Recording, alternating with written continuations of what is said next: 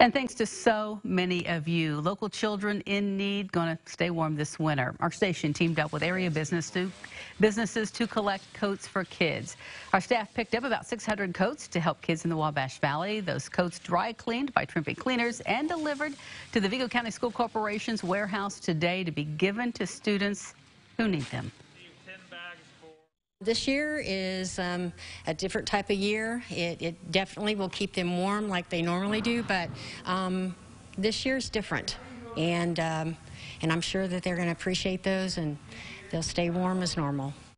And again, we appreciate all of you who donated to help make this effort possible.